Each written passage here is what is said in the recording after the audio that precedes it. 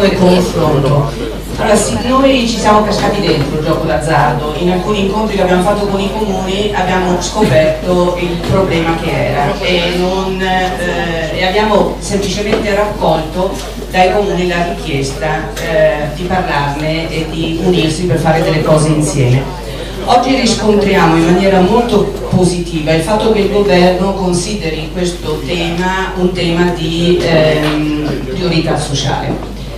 chiediamo di eh, dire, eh, scandagliare fino in fondo che cosa significa questa questione, un tema di priorità sociale, perché allora probabilmente eh, si scopre che ehm, sia difficile scindere gli effetti dell'impresa del gioco, quindi gli effetti di un'attività economica con una rilevanza così alta come ce l'ha in Italia, dagli effetti sociali e dagli effetti patologici che produce quindi la nostra eh, richiesta che portiamo dopo una serie di incontri fatti con i comuni, infatti all'interno della scuola di buone pratiche che sviluppiamo insieme con Terre di Mezzo, è questa questione di andare a verificare questa impresa di Stato, le caratteristiche di questa impresa di Stato. Altra cosa che noi chiediamo di verificare è ehm, vediamo positivamente eh, eh, l'interesse all'incontro eh, da parte del sottosegretario, quindi da parte del governo, con tutti i soggetti interessati, perché non vorremmo che questo decreto eh, desse avvio a una serie di ulteriore contenzioso tra i territori e il governo. Eh, la vice sindaco di Milano prima faceva riferimento alla sentenza della Corte Costituzionale che separa gli aspetti di eh, autorizzazione del gioco dagli aspetti invece di eh, prevenzione sociale, prevenzione sanitaria che sono demandati agli enti territoriali e alla sentenza della Corte Costituzionale sono succedute tra il marzo e l'aprile del 2014 tre note del Ministero dell'Interno eh, rivolte ai questori prima della Lombardia e poi a tutti i questori eh,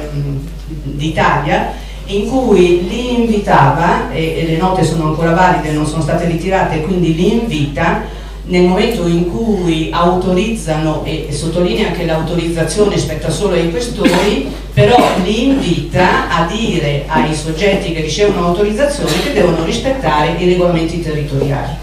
Noi oggi abbiamo 16 regioni che hanno fatto leggi regionali abbiamo tantissimi comuni che hanno fatto regolamenti comunali, abbiamo tutte le città più importanti della Lombardia che venivano ricordate prima dal vice sindaco di Milano, sarà difficile avere un decreto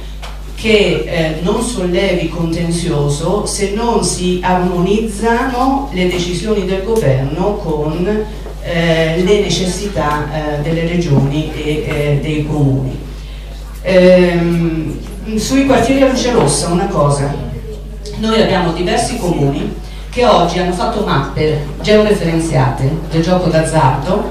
eh, prima dell'entrata eh, in vigore della legge regionale sulle distanze. Allora tutte le mappe ci dicono una cosa, compresa quella della città di Milano, che il gioco, in assenza di regolazioni territoriali, comunque si è sviluppato in modo difforme nelle città si è sviluppato in alcuni quartieri e non in altri. E nei quartieri dove si è sviluppato, guarda caso, si sviluppa anche eh, la criminalità.